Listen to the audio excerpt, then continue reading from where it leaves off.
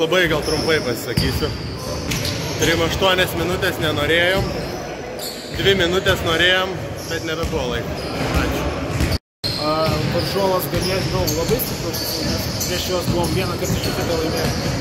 Šiandien šiandien susikaupę, laikėmės visose varžybose, ketvirtam kilny buvom jau atrodo ir pabėgę plus 12, bet a, varžovas nenorėjo nusileisti, padarė spaudimą kelios klaidos, dasimė, intriga grįžo, laimėjom varžybas, džiaugiamės.